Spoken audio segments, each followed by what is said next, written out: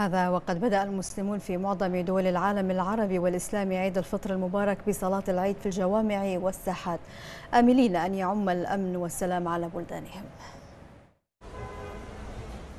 في أجواء ملؤها المحبة والألفة والبساطة أطل عيد الفطر السعيد على الدول العربية والإسلامية في يوم شهد العديد من المشاهد الروحانية في مصليات العيد.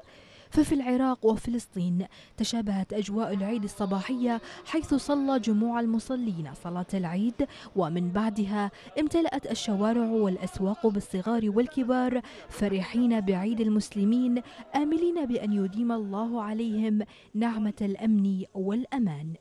يوم عيد فطر المبارك أسأل الله أن يحفظ العراق والعراقيين. ولأن للعيد نكهة مختلفة عن بقية الأيام.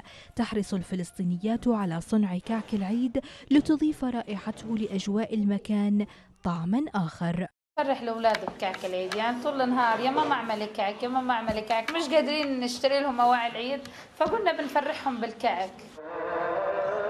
ومن الدول العربية إلى الدول الإسلامية في شرق آسيا حيث ماليزيا وباكستان وبنغلاديش وغيرها من الدول التي حرص المصلون فيها على أداء صلاة العيد صغارا وكبارا.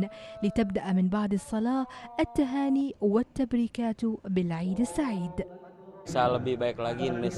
جميعنا ننتظر أجواء العيد فهو عيد المسلمين في العالم أجمع.